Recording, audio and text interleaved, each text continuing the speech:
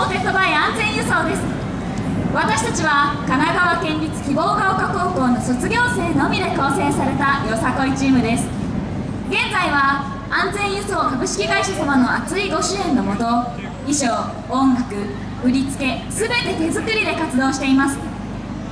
さて今年のテーマは登竜門。月を目指し険しい川を遡った一匹の恋の物語です。私たちの活動拠点であるこの横浜の地で踊れること大変嬉しく思っております。精一杯演舞いたします。5000手拍子。よろしく